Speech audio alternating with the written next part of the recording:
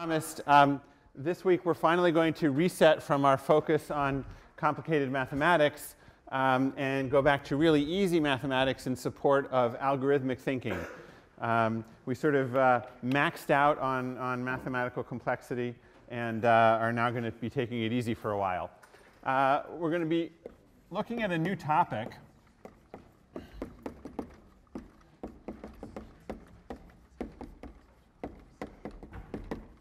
which is approximation algorithms. And so as I uh, intimated last time, what we're going to be looking at is problems that, uh, for one reason or another, we don't uh, have the ability to solve exactly. Uh, many of the problems that we're going to be looking at are going to be NP-complete problems. Uh, and these are problems for which we have a strong reason to believe that it is not possible to solve them exactly in polynomial time. But actually, some of what I'm going to be talking about, the sort of principles and such, also applies when it is possible to solve a problem in polynomial time, but you just can't be bothered. Um, it, it, takes too long. It, getting the answer exactly right is not that important. Um, but, uh, but as I said, the focus is going to be on, um, on these uh, problems that, that tend to be intractable.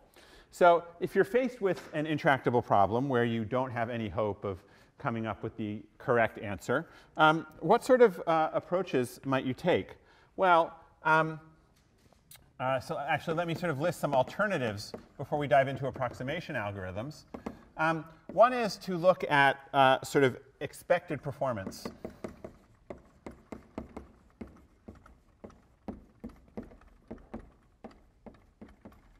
So there's a lot of work looking at problems which says that while this problem may be difficult in the worst case, on average, it's easy. If I give you a random input, a ram random problem instance, then it's easy to solve. So, you know, Hamiltonian path problem is NP complete. But if I ask you to find a Hamiltonian path in a random graph, then it's pretty easy uh, for the most part. So you can, you can almost always do so with high probability. And so, so the average time that it takes to find a path, uh, average overall graphs, is polynomial.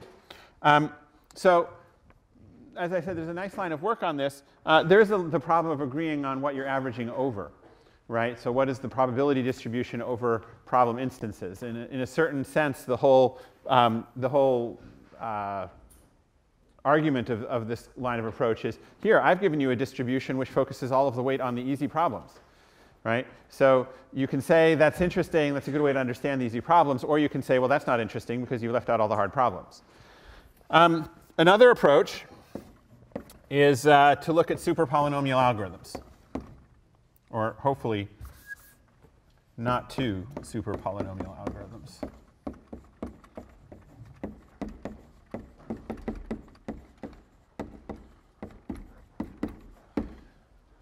All right, and uh, depending on how much time I have, we may look at a little bit of that uh, th this, uh, in, in, this class. Um, uh, another is to um, look at um, uh, practice, right? So you can use techniques like branch and bound uh, to solve all sorts of problems in practice that from a theoretician's perspective are too hard to solve, right? So um, it's you know, unfortunate when you're in that situation because the theory doesn't give you any guidance about whether you're going to be able to solve the problem or not. You just need to try things and see. But there are a lot of times where it does work. Um, but what we're going to focus on is um, is we're going to look for a polynomial time algorithm um, that does well, that, that finds a pretty good solution.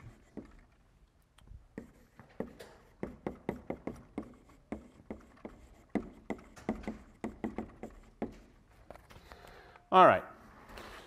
So I have to formalize some of that a little bit. So here are some definitions. We're going to be looking at optimization problems.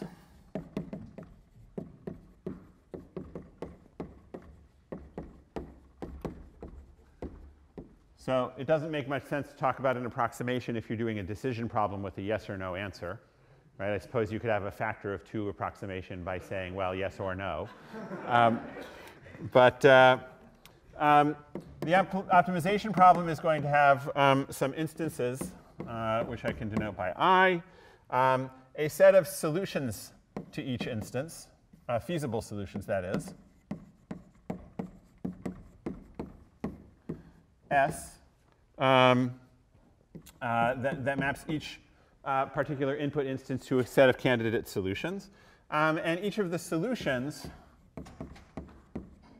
uh, are mapped by some value function into the reals. Okay. And our optimization problem is going to be given i. Uh, you want to find some solution uh, S element of the solution space of I uh, that maximizes or minimizes uh, the value of that solution. Okay, and this will be called the optimum of I. Right? So that's sort of the general framework, um, just, to, just to give us some labels for things. Um, so just to start getting some examples on the table, we're going to be looking at a lot of examples of these hard to solve problems uh, today. Um, a famous one is bin packing. So in bin packing, um, a, an instance, i, is a set uh, of items, each with a size. And a feasible solution um,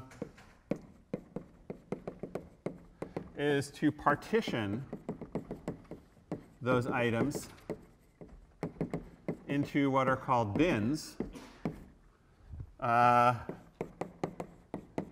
of total size at most 1. Okay. And then the value of a solution um, is just the number of bins.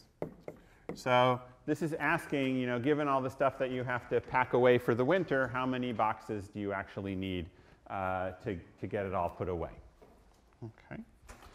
Now, we're going to make a number of sort of standard technical assumptions. Uh, so that I can, don't have to keep making them over and over again. Um, we're going to assume that all of the inputs and the range of f are uh, integers or rationals. None of that real number nonsense. Um, and that means that we can immediately start invoking things like linear programming, binary search, uh, and not worry about them running infinitely long. Um, and uh, we're also going to assume that the value of any solution um, has a polynomial number of bits. Since otherwise it's going to just take us too long to write the answer down. And uh, we will be willing to be weakly polynomial. Uh, so we can have a runtime that depends on the bit complexity of the input. So I'm not going to draw strong distinctions between uh, strong and weak polynomiality uh, yet. Okay. Um, so as I said, um, we're going to be looking at NP hard problems for the most part. Now, uh, yes? Um, sigma has polynomial number of bits. Is sigma any element of um, i, or is it only the optimum? For everything that we do, it's going to be every element of every, every member of I. Um, some of what we do probably doesn't care if there are insane solutions with a huge number of bits, but it's not going to come up for us. Okay. Um, so I assume that everybody here has run into NP hardness and NP completeness before. I won't spend a lot of time on it. I will just note that um, uh, usually when you're doing NP completeness, uh, you talk about decision problems, right? Is this a yes or a no? And you do reductions between different decision problems in order to uh, um, uh, show things that are NP sh show things that are NP complete. Um, but uh, uh, it's, it's sort of pretty natural to transform uh, all sorts of optimization problems into uh, decision problems. So, for example, you can transform via a decision if the optimum solution is less than or equal to some value k. Right? So given any optimization problem, there's an analogous decision problem. And uh, we say that the optimization problem is uh, NP-hard if the decision problem is uh, NP-hard.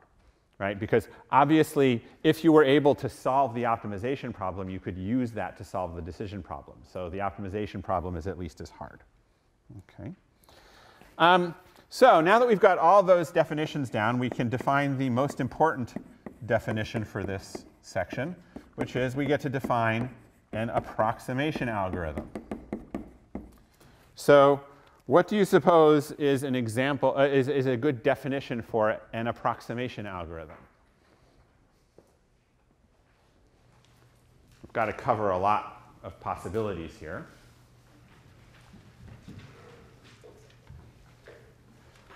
So how about this? An algorithm that gives a feasible solution.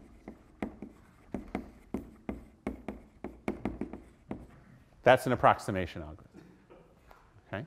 Well, I mean, if we want to cover everything, we really don't have any other choice, right? I mean, we can certainly demand feasibility of our algorithm, but uh, in some sense, it's an approximation, right? Any feasible solution is an approximation of some sort. Right? So what would be an approximation algorithm for bin packing that you could figure out pretty quickly?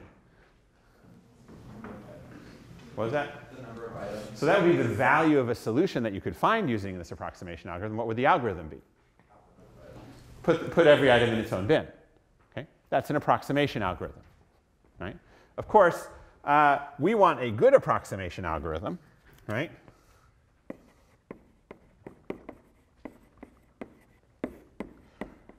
So the big question becomes, how do we measure the quality of an approximation algorithm? And of course, we're going to measure the quality of an approximation algorithm by looking at the quality of the answers that it gives. So really what we're asking is how do we measure the quality of an answer to an algorithmic problem? Okay, who, who gets to define close? So the first approach we're going to take um, is pretty natural uh, we're going to talk about absolute approximations. So an absolute approximation, uh, we say um, an algorithm A is a k absolute approximation algorithm if for all instances i, uh, the absolute value of what my algorithm finds on instance i minus the optimum on instance i is less than or equal to k. Definition clear? Right, so we're basically saying it has to be within some additive factor of the optimum uh, solution on every possible instance. Now, there are some problems for which there are absolute approximation algorithms. So, for example, uh, there's planar graph coloring.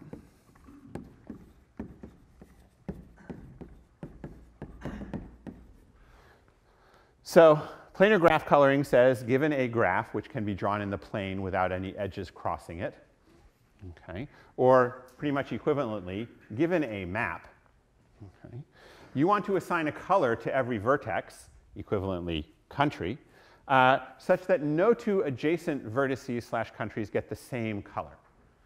Okay, so this is the graph coloring problem, is to sort of uh, make sure that no edge has endpoints that are the same color on it. Okay, and uh, this is NP-hard, even in the planar graph case. However, we can get an absolute approximation algorithm for this problem. Does anybody know why?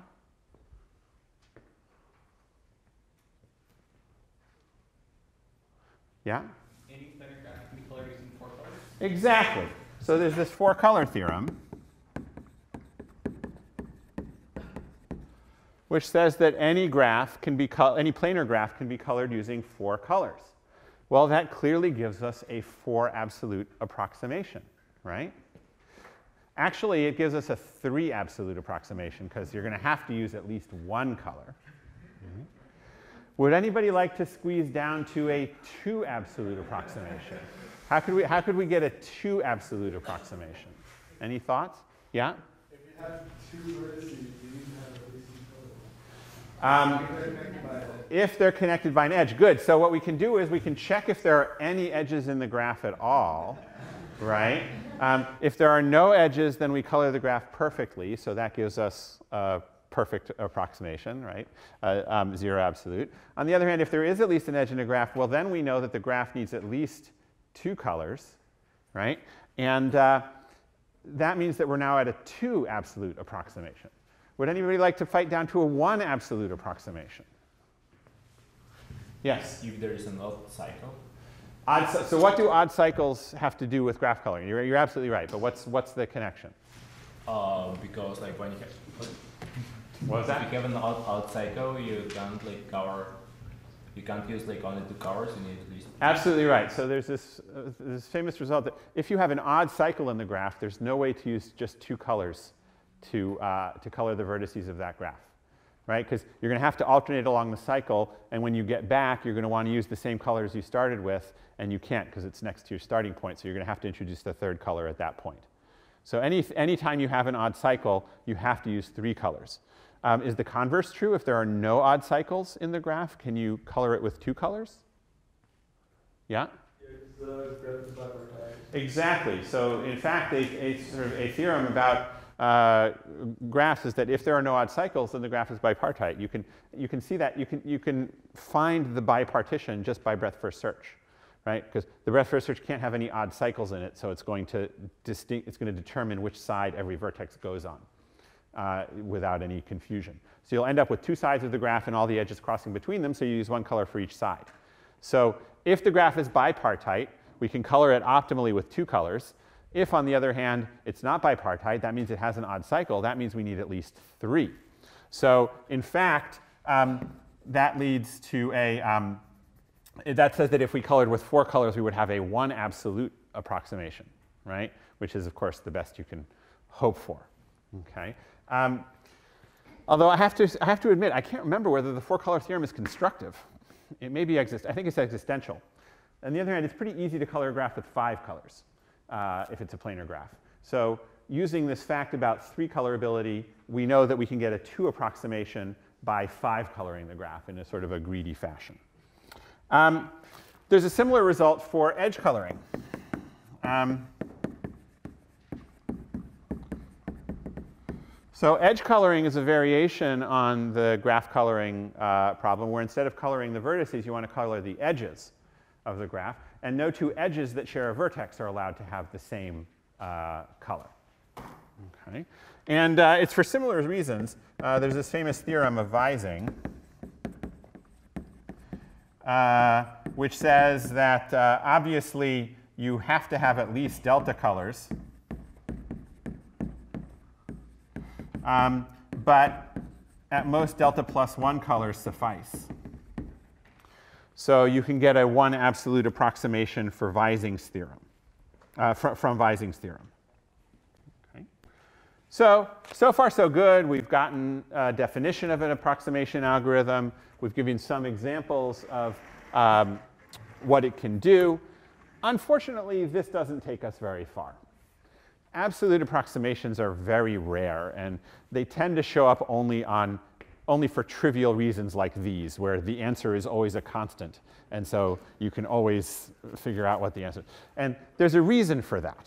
Uh, sorry, did you have a question?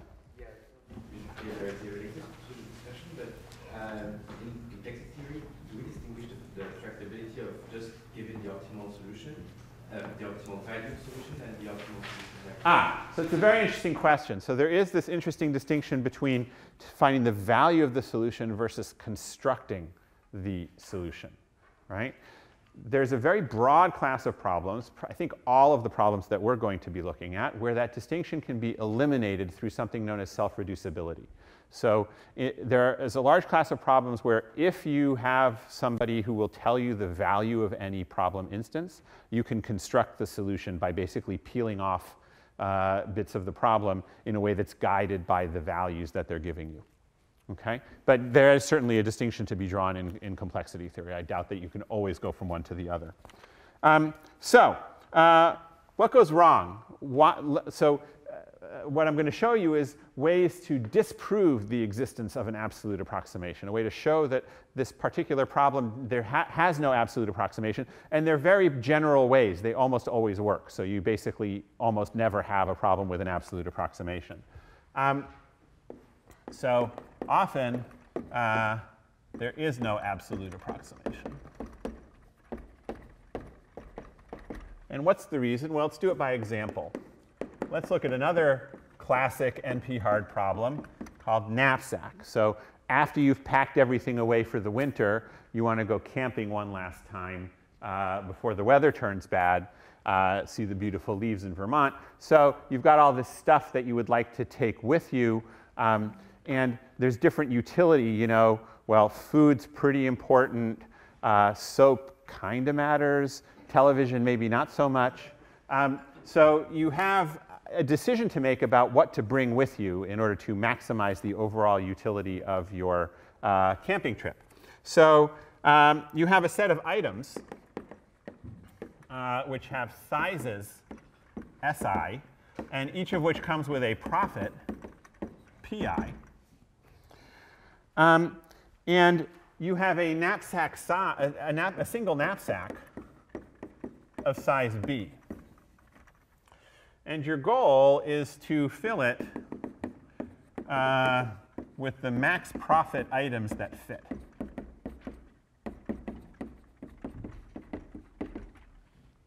Okay, pretty natural problem. Problem statement clear? All right. So suppose that there exists a k-absolute solution.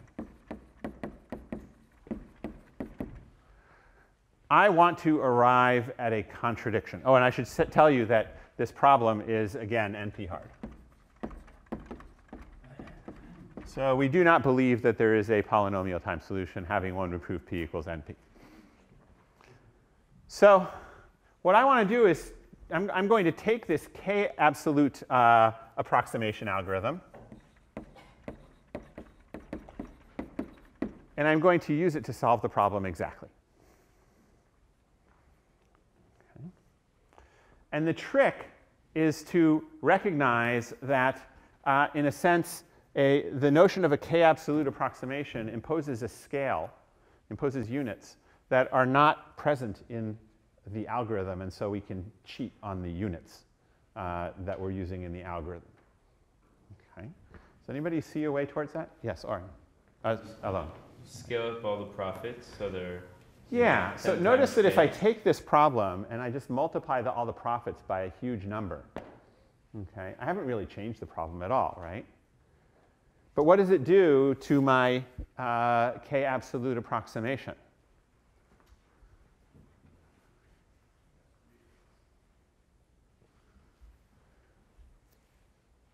Yeah?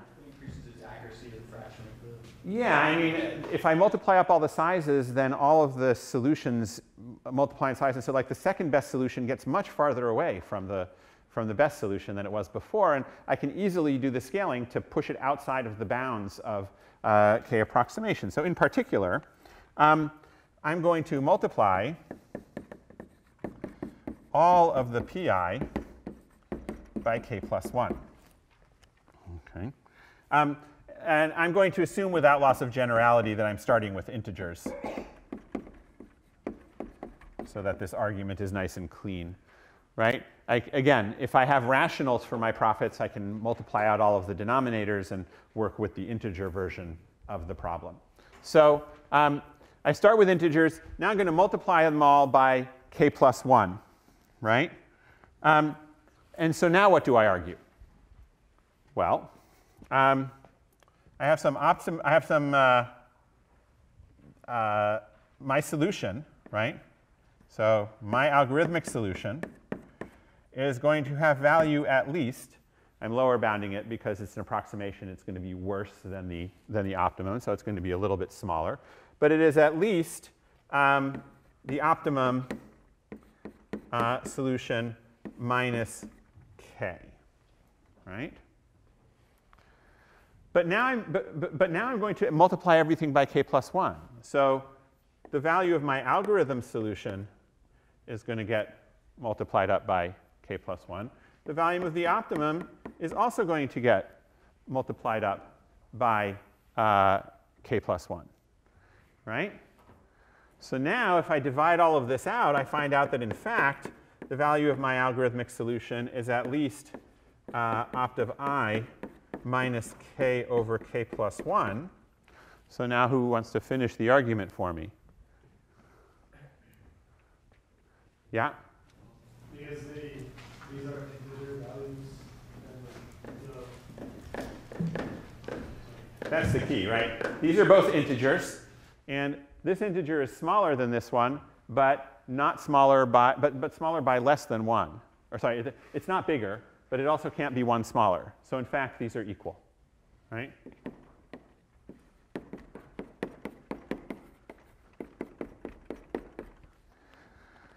All right, so any problem that has this kind of scalability, this sort of uh, flexibility in the units in which you specify the uh, input numbers, is not going to be able to have an absolute approximation algorithm. Yeah? So do we need to constrain the, the processor integers? Can we just like, even if they're not integers, just? Yes, them no, as so a- this, exactly the same proof works. It's just a little bit easier, it's just a little bit cleaner to write down if I cast out the denominators first instead of doing so in the course of proving the, the algorithm. Okay. All right. Um, now, so this works for any numeric problem, but it even works for problems without any numbers in them. So here's another example, Clique. Okay. S- uh, sorry, let me do independent set. Clique is messier in this.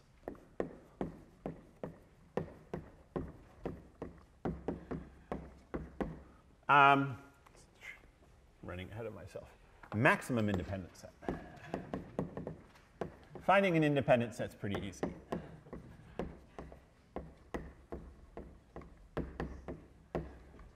So this is one of the granddaddy problems of uh, computer science. People have been working on this one for, for, for uh, 50 years, I think. Um, you're given a graph G and an independent set is a collection of vertices with no connecting edges.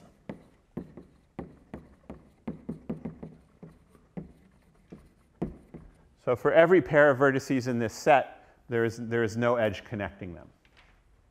Okay? Um, I'll mention that the complement problem, if you just look in the, in the complement graph, um, is the clique problem. A clique is talking about a set of vertices where every pair is connected by an edge. Okay? Um, and so independent sets, well, they, they show up all over the place. Um, and uh, the, in terms of, I, I don't even need to go into it, there's, there's too many examples. Um, but uh, finding one that's as large as possible is a, is a natural challenge. Okay? Um, but this also is NP hard.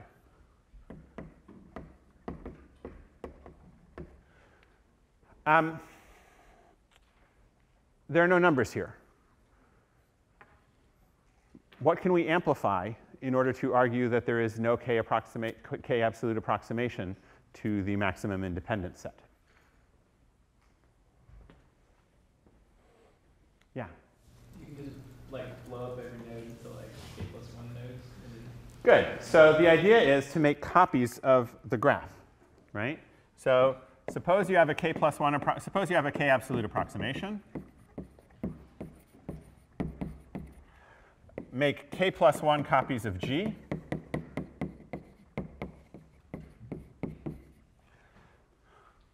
Find your k absolute approximation.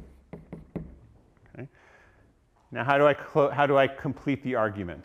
I, want to, I need to understand what happens to the optimum when I make k plus 1 copies of g, and also what happens to my approximation algorithm.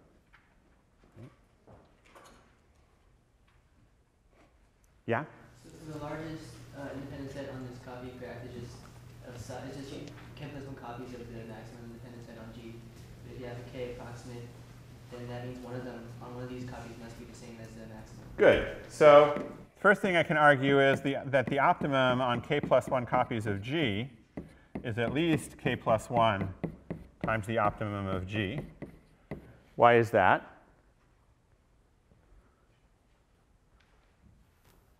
Yeah? Well, what, what, what, how, do I how do I exhibit a solution that has this value? Take the independent set in every copy. So now I have k plus 1 times as many vertices, right? Um, so now I find a solution uh, of value at least uh, k plus 1 times the opt of g minus k, right, in this expanded out graph. Now what can I do with that solution?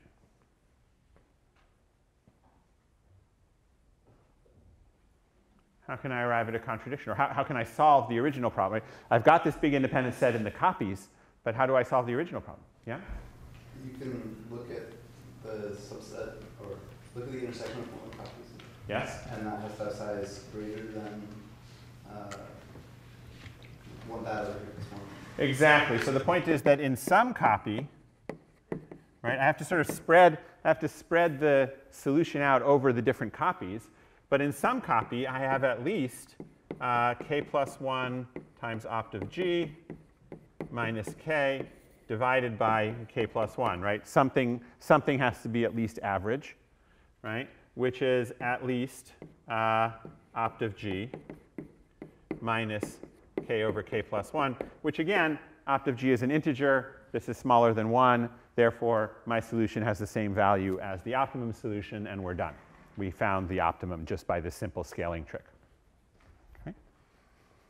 So what this tells us is that with absolute approximations, we're not going to get very far. Um, I should say that although I've shown you um, the sort of absolute approximation hardness for these two separate problems, their, their true hardnesses are totally different.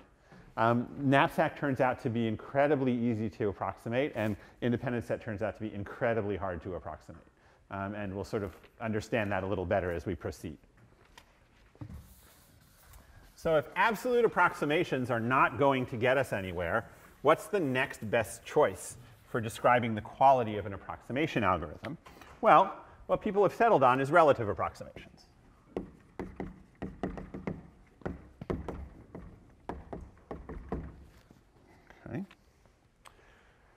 So um, given some instance of a problem, um, we're going to say that an alpha optimum solution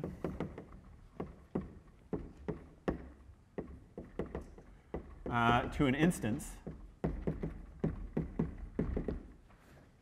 is uh, one with value um, at most alpha times the optimum if you have a uh, minimization problem, or at least 1 over alpha times the optimum if you have a maximization problem. Okay. Um, so notice that alpha is bigger than 1 in either case, right? There's no way you can do better than the minimum. You can't be, you can't be smaller than the minimum, so alpha is going to be bigger than 1 for a minimum, and you can't be larger than the maximum, so alpha is going to be bigger than 1 for the maximum. So alpha is always greater than 1 here, and um, we say an algorithm has approximation ratio alpha if um, it always outputs an alpha optimum solution.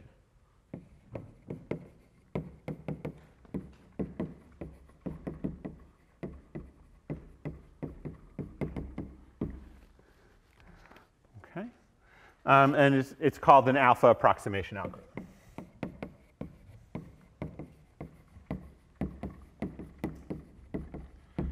Now I should say that I've defined it to make alpha always bigger than 1, but some people define it to make alpha always less than 1. Uh, and it's always clear what you're talking about, right? If you see a number that's smaller than 1 and you have a minimization problem, then you know you have to turn the ratio upside down in order for it to make any, make any sense. And ditto for maximization. So I will generally be stating my approximation ratios as numbers greater than 1 according to this definition. But some of the really famous ones have ratios smaller than 1, and you'll just know that you should invert them uh, when, if you want to fit these definitions. Okay? And so we're going to be spending all of our time uh, on approximation algorithms talking about relative approximations.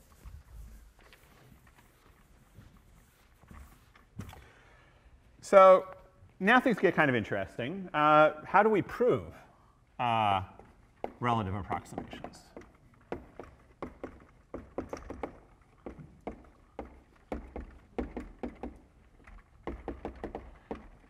So we've already been talking about this a little bit with the absolute approximations, but now I'm going to make it explicit. There is this interesting problem if you want with, with proving that your algorithm is an approximation algorithm. The problem is that the most obvious way to do that is to compare your solution to the correct solution, but we don't have it, right? So how can we hope to prove that we are close to the optimum solution if we don't actually have the optimum solution to compare to? Yeah? Maybe like at every step, you get like a fraction of the way there. Ah, so that, but that, talking about, how do we talk about getting a fraction of the way there if we don't know the value of the optimum? You could say that no matter what, like this operation, like can only do this much. And in this case, it only does like half. Good. So what you're implicitly talking about is uh, bounding what could happen, even in the optimum case right? And that is, in fact, what we need to do. Um, we need to compare our solution to various upper or lower bounds on the optimum. Right? And so this is where a lot of the work is going to be, is coming up with a good bound on the optimum and then showing that we, then it's often going to be easy to show that we're close to that good bound and that will tell us that the, optim the optimum itself is somewhere in between our solution and the bound that we found, and therefore we must be close to optimum. General approach clear? Okay, so now that we've got a general approach, um, let's start doing some, uh, some algorithms. Uh, actually, so the first class of algorithms that we're going to look at is uh, greedy algorithms. There are quite a few places where greedy algorithms do great. Um, and again, the, the trick, it's, it's, obvious, it's usually obvious what the greedy algorithm is. The trick is showing that it does well, and the way that you show it does well is by comparing it against um, some useful bound. Okay, uh, so the algorithm tends to be obvious. Uh, the trick is to find a good bound to compare it to.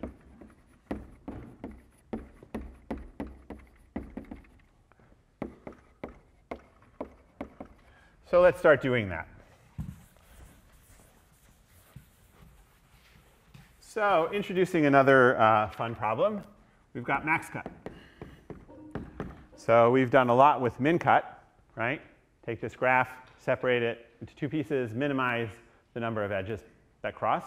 Well, what happens if you turn it around and say that instead you wish to maximize the number of edges that cross? Well, it turns out that makes it NP-hard. Okay. Um, so let's come up with a greedy algorithm for it. So what would be a greedy way to build a cut that has as many edges as possible crossing the two sides? Yeah? You find the edge of max capacity and then. Ah, so let's not, let's not make our lives difficult with capacities. Let's just think about a, a unit capacities graph. Okay. And again, we, so the, the, the idea of a greedy algorithm is generally that you build it a little bit at a time. right? So what's the little, what's the natural little bit at a time for dealing with a cut? Well, let's start putting the, cut, the vertices down one after another. So what's the greedy thing to do when you're building this cut? Yeah? Vertices that have a high degree. Uh, and put them where? Right? The decision point is which side of the graph should they go, of, of this cut that you're creating, should they go? So I can start with a high degree, but I still need to decide where to put it. Yeah? You can just look at all the neighbors who have already put their foot and then pick the side that has. Great. So for each vertex, and it's going to turn out that looking at high degree doesn't make any difference for this analysis. For each vertex, um, put the opposite, put it opposite the majority of its placed neighbors. So the first vertex can go anywhere. The second vertex, well, if it has that first vertex as a neighbor, it's going to go on the opposite side. Otherwise, it can go anywhere. And you just keep on putting vertices one at a time so that they're opposite the majority of the, of the place neighbors. Do you have a question? What did you say the modification is? Oh, that we're looking at max instead of min. Oh. That's it. Just change, just flipping the objective function around. Uh, and this is not unusual. There are many problems where maximization is trivial and minimization is hard, uh, or vice versa. Okay. Yes. Uh, It seems like this isn't entirely well defined since you have some choice whenever you don't have any neighbors. So- Yes, and the point is that either choice is fine. So if, if instead of saying majority, I say non-minority, right? As, as long as you don't put it on the, on the worst side, uh, the analysis that I'm going to perform uh, is going to go through just fine. Okay? So how do we analyze this? Well, as I said, we need a bound. Sorry, did you have a question or a proposal for it? Okay, so we need a bound, right? So what sort of bound can we uh, aim at if we're talking about the max cut on an unweighted graph? Yeah? Yeah, in an unweighted graph, that's just m, right? One, one per edge, right? So we can always, we can clearly say that there's an upper bound of m. And the question is, can we argue that this greedy algorithm somehow gets some of that upper, gets close to that upper bound? Yeah? For each vertex, you put at least half of its edges in the cut. Good. Or edges coming out of it in the cut. So Right, so we have to be a little bit careful because some of the edges coming out of it go to a vertex that hasn't been placed yet. Right? So when we place the vertex, some of its neighbors are on one side or the other, but some of its neighbors are not, haven't had their turn yet. So, but you're absolutely right that of the vertices that have been placed, right, at least half of them are on the opposite side, right? So um, that's the key to the analysis, right? Of the placed neighbors, at least half are on the opposite side. So how do I go from that observation to a full analysis?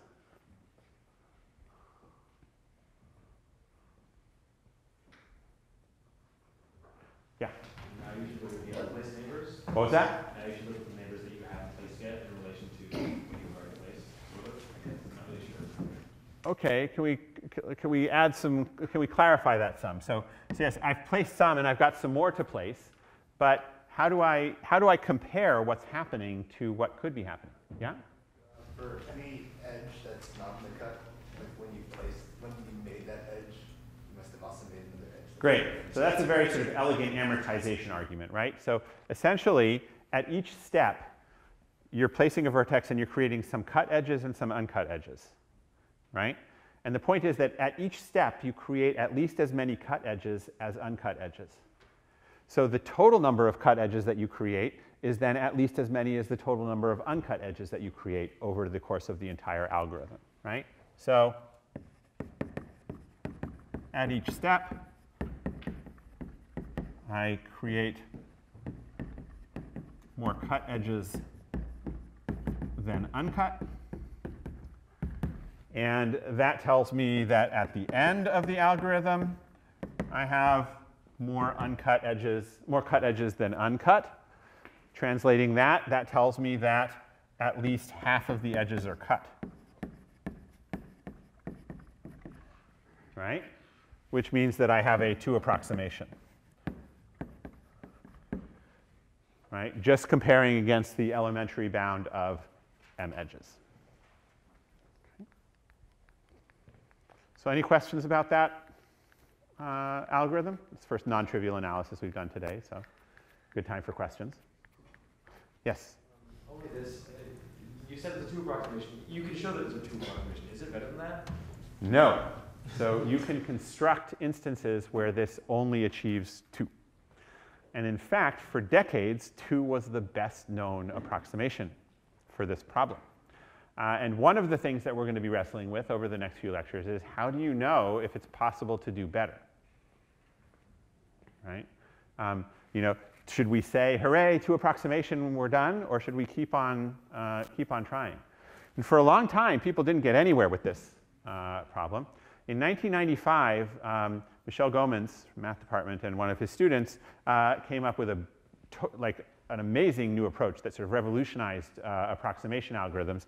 And um, that gave a 0.878 approximation, so you have to invert that in order to put it into my framework. But they, they used less than one uh, ratios, uh, which was significantly better. And um, that used a generalization of linear programming to come up with a far superior uh, bound on the optimum solution that they could compare to and, and show that they were doing much better. Okay? And uh, if you want to see that, you need to take my randomized algorithms class uh, a year from now.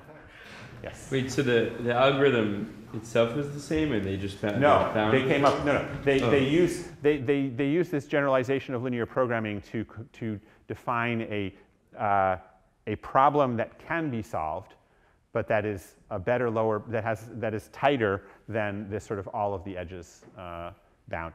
And we'll we'll see some of the principles of it uh, in this class. So I can say more about that in a week um, after we study uh, LP relaxations. Um, okay, let's look at another one. Um, okay, this one is fun.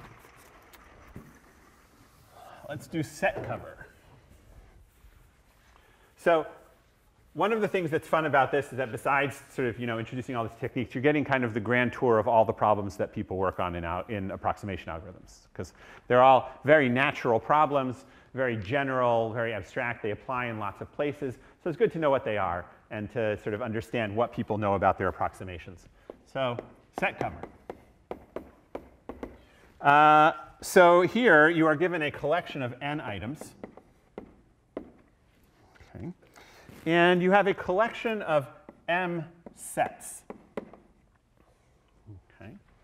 Um, and your goal is to find a smallest uh, collection of sets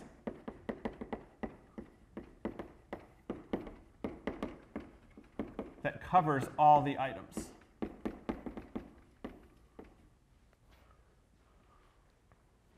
Okay. In other words, you want to find a collection of these sets whose union is the entire collection of n items. Okay, yes, question? Ah, so yes, so that, that's exactly where I want to go. Um, what's the natural greedy algorithm?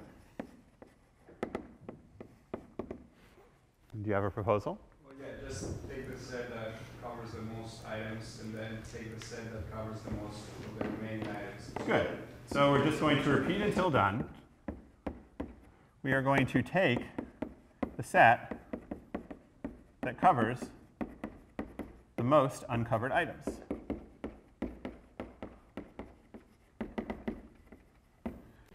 Nothing really more obvious than that, right? Just at each step we do the best possible thing.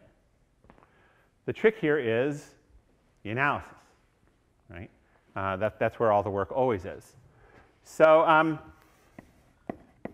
suppose that the optimum has value k. It's possible to cover all of the items with k sets. Can we argue anything about the progress that we can make by choosing the set that covers the most remaining items?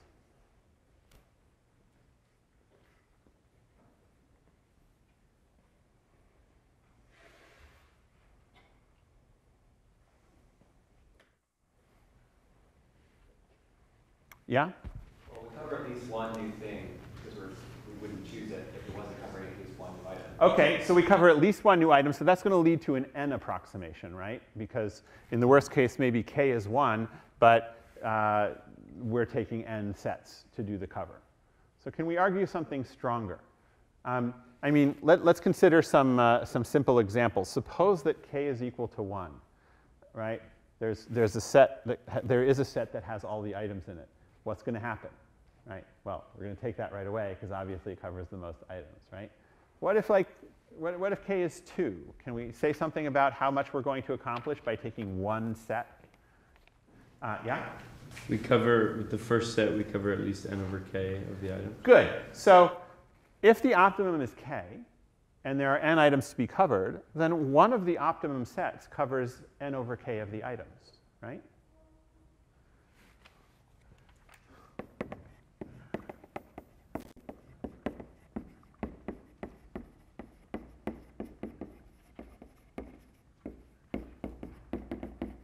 Okay, that's very nice for the first step, but can we say anything about later steps? Right? Suppose that there are R items left. We have R uncovered items. What can we conclude about our progress? Yeah? That's absolutely right. So notice that op doesn't disappear right? Those k optimum sets are always available. I mean, we, might take them. That can only help us um, if we're sort of doing the same thing as opt. But there are always, at most, k sets, right? Whatever we haven't taken from opt, there's at most k sets that cover everything that's left. That means that there is some set that covers a 1 over k fraction of what's left, right? Okay, so that what that tells us is that in general, one step takes us from r to r minus r over k, which is 1 minus 1 over k times r. So I decrease the amount of items to be, that need to still be covered by a 1 minus 1 over k factor in every step. So how long is it going to take me to cover everything?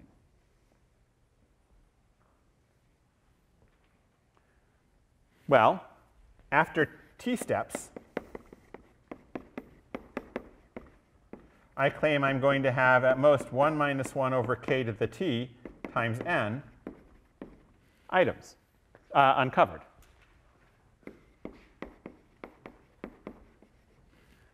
Right? So how many steps do I need to take to cover everything?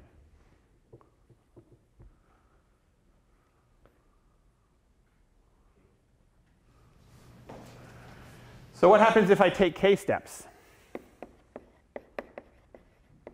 Well, then I'm going to have 1 minus 1 over k to the k times n items. What's 1 minus 1 over k to the k?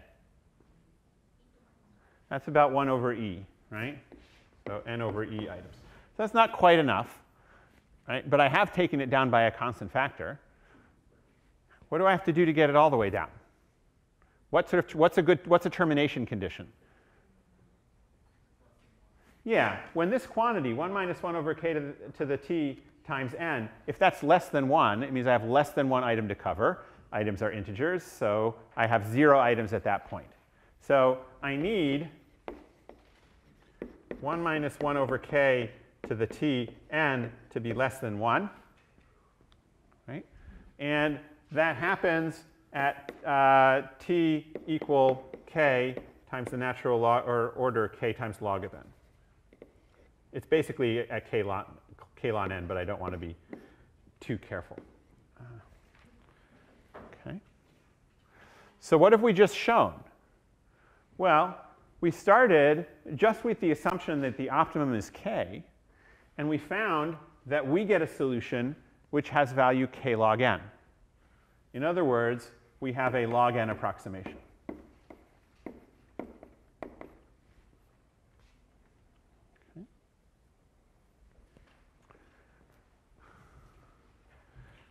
Uh, again, looking forward a little bit, set cover is a really one, one of the celebrated problems that people have worked on approximating. And this turns out to be the best you can do. There are, there are strong theorems that basically tell us that we are not going to be able to approximate set cover to within better than a factor of k log n. And in fact, it, it's k times the natural log of n, and you're not even going to be able to bring the constant down further uh, than, than k times the natural log of n. Yes? So does it assume that we can't solve it exactly? You- Well, yeah, so pretty much everything in hardness, like when I, when I state that things can't be done, this is all under the assumption that p is not equal to np. So pretty much, so all of these things that I'm saying that you can't approximate this, you can't beat this factor, so on and so forth, it's saying assuming p equals not np, or, or, or in other words, if you are able to do any of those things, then you will have um, won a million dollars by showing that p is equal to np. Okay? approximations like log n versus like natural log? Oh, so we, we can if we choose to, right? So um, since we have something here that is not constant, right, that's growing with n, it becomes less of an issue to ask exactly what the constant is. But um, as I just said, people care a lot about set cover, and they have asked that question. And I believe that the results are very strong, that it's k times the natural log of n and no smaller. Okay, so I think they've even managed to, to kill the constant term. Yes? Is there a moral distinction between these um, approximations that are constants, like a two approximation, and these approximations that depend on the um, inputs, like log n? Absolutely, right? So, I, I, mean, pragmatically, it's very nice to have an approximation factor that does not depend, that does not grow with the size of your, of your input or the size of your solution. Um, and we're going to be spending a bunch of time trying to differentiate between those different layers of approximation. Uh, so we'll, we'll, we'll, we'll, be seeing that again over the next uh, couple of lectures. Okay. Uh, all right, so let's move on. Uh, oh, so here's another fun one. Uh, actually, let's take a two-minute break, and then we'll do a couple more before class ends. So the next problem we're going to look at is vertex cover. Okay. So this is a kind of a natural variant on uh, set cover, um, where you want to cover the edges of a graph G using the minimum number of vertices. Now, what do I mean by covering the edges? Uh, so a, an edge is covered if you take either of its endpoints. Okay, so I want, I want to find a set of vertices that includes an endpoint of every edge in the graph. Okay? So how might I go about solving this problem? Well, one thing I could do is try and apply a problem that I already know how to solve. All right, so is there a problem that we already know how to solve? Perhaps one that we have solved quite recently that we could use in order to solve vertex cover.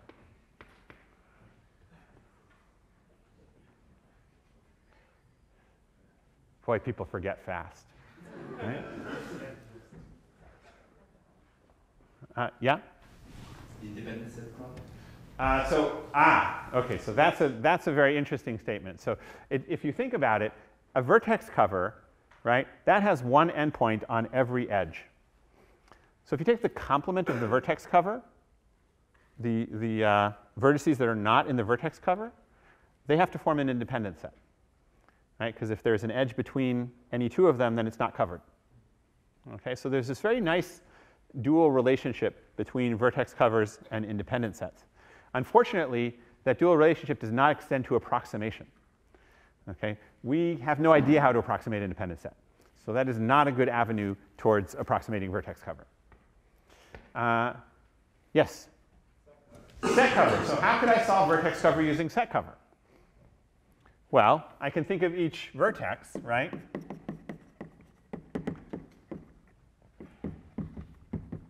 Uh, covers a set of edges, right? So that seems to be a pretty straightforward uh, mapping, right? I, I can use the greedy algorithm, just keep taking vertices that cover as many edges as possible, and I will get a log n approximation. Okay? So that does work, but actually, you know, vertex cover is a very special kind of set cover problem right? It has this interesting characteristic that each item is only in two sets. And so uh, not completely surprisingly, we can do better because we have a special case uh, version of the problem. Okay? So we're going to be greedy, um, but we're going to be actually, we're going to be super greedy. And that's going to take us to a better solution. So what's the greedy algorithm, right? Find some edges that need to be covered, take a vertex that covers the edges, right? But actually, we're going to overdo it. When we find that edge that needs to be covered, we're actually going to take both edges, both endpoints of the edge. Okay? So, repeat. Find an uncovered vertex.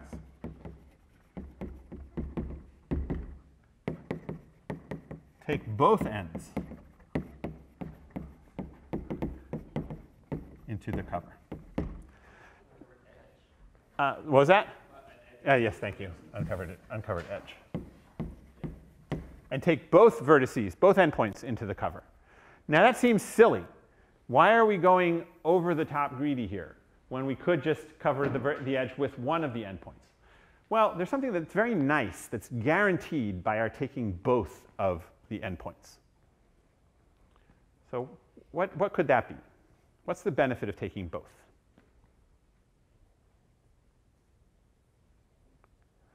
Yeah?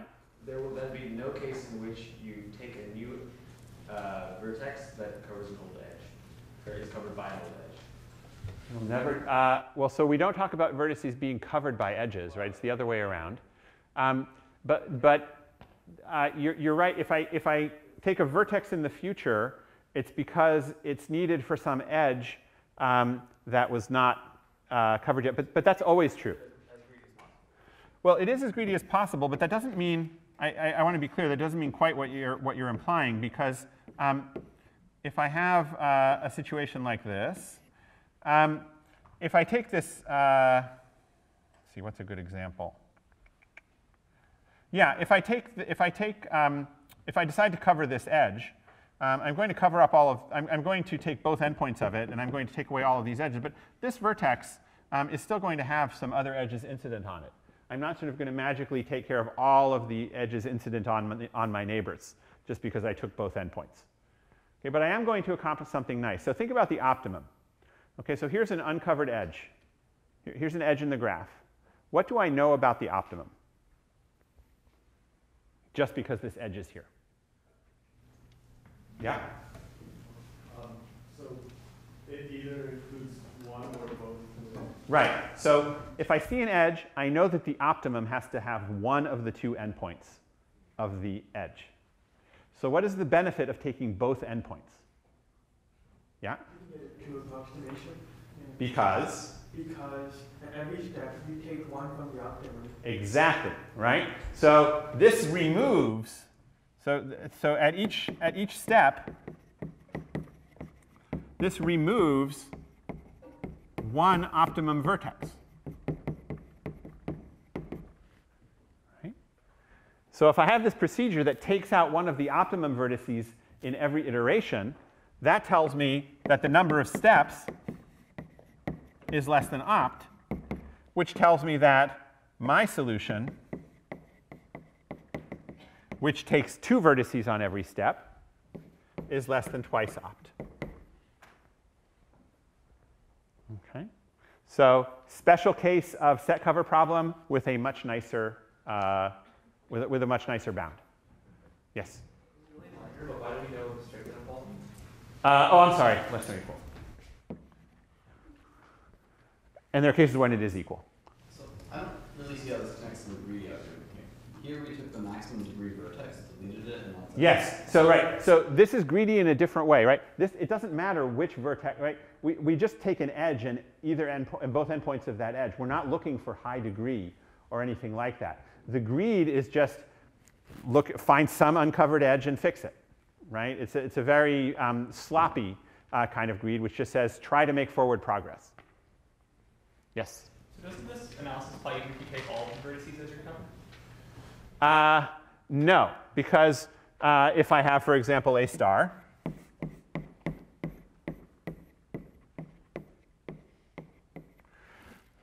what happens when I take all the vertices? Well, that's not very good. What? Exactly. So you can, you can also see this as just taking a maximal uh, set of vertices in a certain way. And you, what, what this shows is that any, any set that has that maximal characteristic is a, is a two approximation. Okay? All right. One more uh, problem we'll look at, which I may need more than one board for, so I'll go back over here. So now I'm going to introduce you to this fun area called scheduling theory.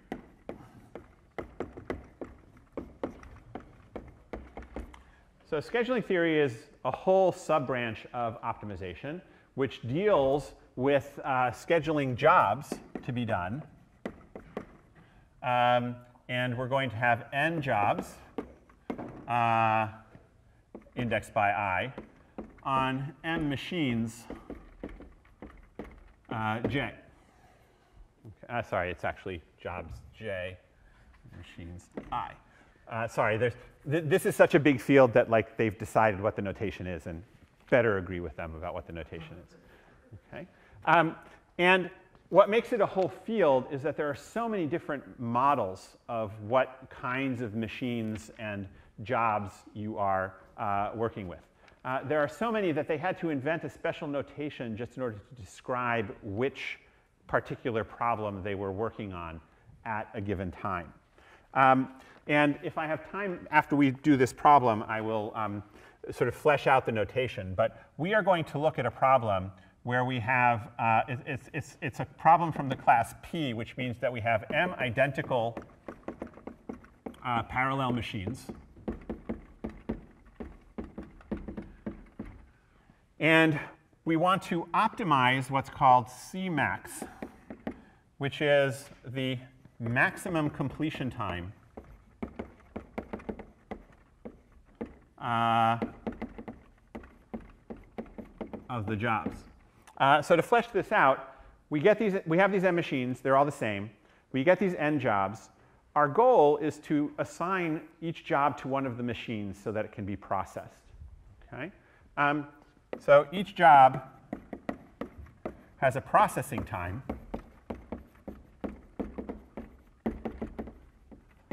pj. Okay. And uh, the uh, processing time of a machine, right, or the, the, the completion time of a, of a job is equal to the sum uh, over all of the jobs preceding it uh, on the same machine, including yourself, of pj. So sort of the obvious thing, right? You, you, you assign these jobs to machines, you have to put them in some order on the machines, and they, they run one after another.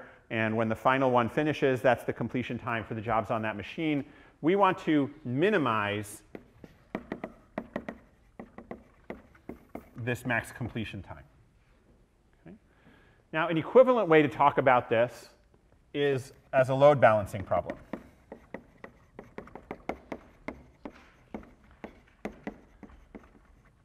So instead of thinking about these as jobs that take a certain amount of processing time, uh, you could think of them as ongoing tasks that impose some load on the machine that they're running on. And so all of these tasks are running on the machine at the same time, and the total load that they impose is this quantity pj. Okay? Uh, is, is the sum of their pjs. And you want to minimize the maximum load imposed on any machine.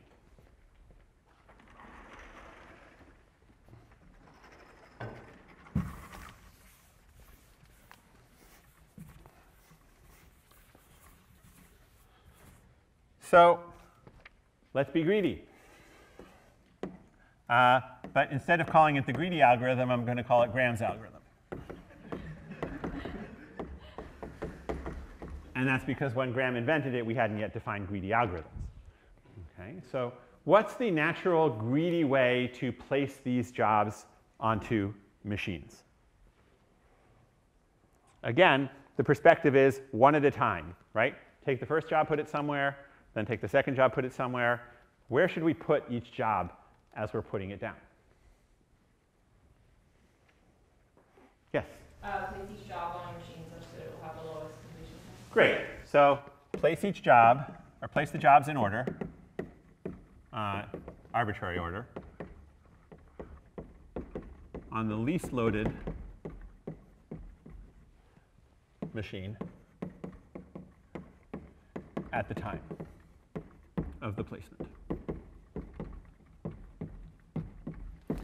Yeah, uh, Graham's algorithm is from, I think, 1968 or 1969 or something like that. So again, before we actually thought of talking about greedy algorithms at all. So what's going to be interesting about Graham's algorithm is that we can't just talk about one lower bound in order to understand how well this algorithm does. We're going to have to talk about two distinct lower bounds uh, in order to argue that we do well. So what sort of lower bounds can we look at?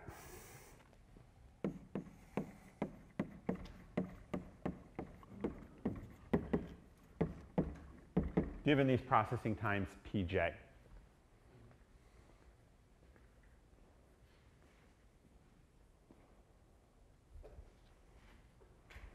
Yeah?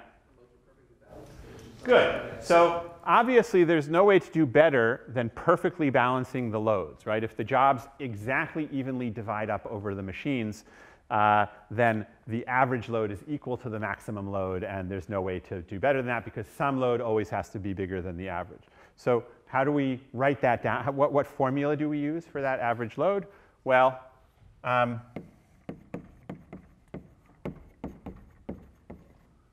one over m times the sum of the pj's. Right? Okay. So this seems like a, this is a very important lower bound to use, but it's not enough because there are cases where the average load is tiny, but there is still no good solution.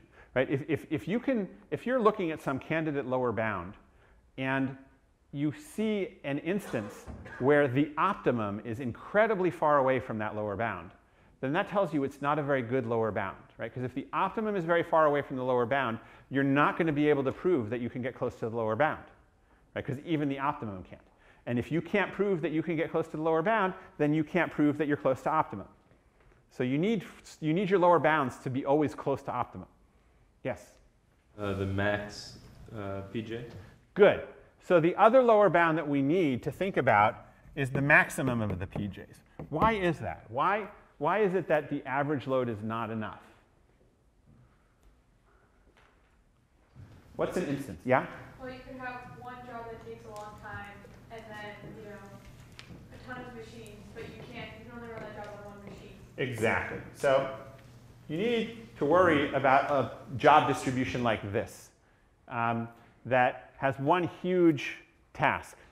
And so the optimum is far bigger than the average. Now, could we just look at max PJ and not worry about the average load? Yeah? You just have a ton of equally sized jobs. Yeah, so you need the other lower bound because you could have a situation with lots and lots of tiny, tiny jobs, right? So the maximum load is nothing. But once you have enough of them, uh, you're, you're dead, right? You, your, your, your, your average load is far bigger than your maximum load. So these two quantities are incomparable, and we need to engage both of them in order to prove a lower, in order to prove a good approximation for our greedy algorithm.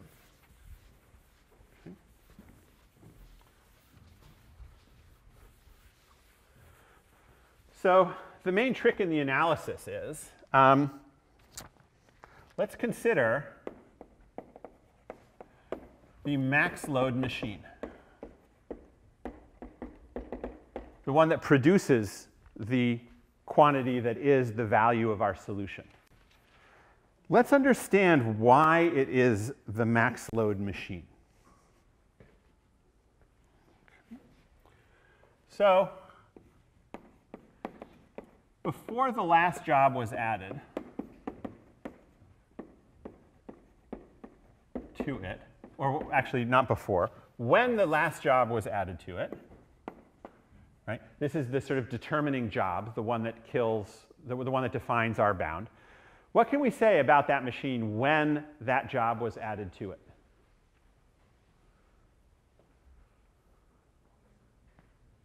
Why did a job get added to that machine? Yeah? Right. So when the last job was added to it, it had the minimum load. Right? But that in particular means that it had less than or equal to the average load.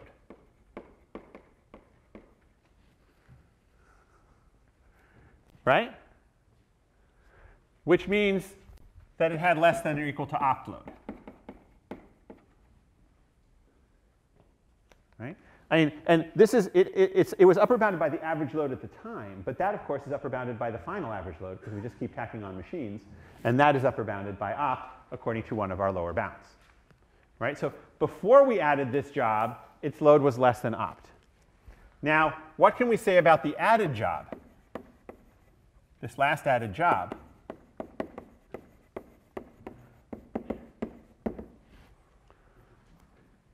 How much could it add to this load that was less than opt? Yeah? The most it could add was the max PJ, which is also less than opt. Less than max PJ, which is less than or equal to opt. Put these together, and we find out that the max load is at most twice opt. Right? So the cleverness here is taking two lower bounds and putting them together. Okay? Now, you may be asking, why is it always 2? Right? We've got all of these approximation algorithms, which it's always 2. But actually here, we can do better. We, we, we can argue better. And it's just a couple of lines, so let me uh, throw it out to you. Um, in fact, um, we can argue like this. Where'd it go? Suppose that we added uh, PJ, again, we're looking at this last machine, uh, to a machine with load L to get Cmax. Okay. Well, in that case, the final average load, which is a lower bound on Cmax, is at least the previous average load plus what we've just stuck on. So it's L plus Pj over M. Right? And that, of course, is uh, less than or equal to opt. Because that's one of our valid lower bounds. We achieve um, L plus Pj. That's, that's exactly what we, what we do. But I can rewrite that as L plus Pj over M plus Pj times 1 minus 1 over M. And this quantity is less than or equal to opt. And this quantity is less than or equal to opt. So our bound is less than or equal to 2 minus 1 over m times opt. Okay. So that's better than 2. Okay. Couple things to notice here. Uh, first of all, this is tight. You can construct examples where it achieves exactly 2 minus 1 over m. Um, we had no idea of the optimum schedule. We just used these two naive lower bounds. Uh, we used a greedy strategy, right? Um, but if you want to think about an example where we end up with this 2 minus 1 over m case, how, how do you trick the algorithm into, into doing this uh, very far from optimum thing? Well, if you look back at our proof, the problem arose when this final job that got added was very big. And that's exactly how you trip up the algorithm. You give it tons and tons of tiny little jobs, which it happily spreads out evenly over all of the machines. And then after you've piled up enough height on all of the different machines, you give it one great big job. What should that algorithm have done? Yeah? Oh, it should have sorted the uh, jobs by load first. Well, in this particular case, what should it have, wh- wh- what's, a, what's an optimum schedule here? Yeah? redistribute the short jobs to the other machines. Yeah, move the short stuff over here and give this big job a whole thing for itself, right? And if you think about it, that's putting sort of an extra 1 over m a little bit onto all of these, which is where the minus 1 over m comes from in the bound, okay? But you pointed out the sort of the fix for this. The reason that this happened was that the big job landed last. And you can prove that if you put the jobs on in decreasing order of size, then you do much better. But there's an advantage to this approach, which is that it is entirely online. It doesn't require any knowledge of what's going to happen. And at every moment in time, it is within a factor two of the optimum solution, no matter what's coming later. And that's very useful. And when we study online algorithms in a couple of weeks, uh, we'll, we'll come back to that. But next time, we'll look at refining uh, several of these algorithms to get better approximation bounds.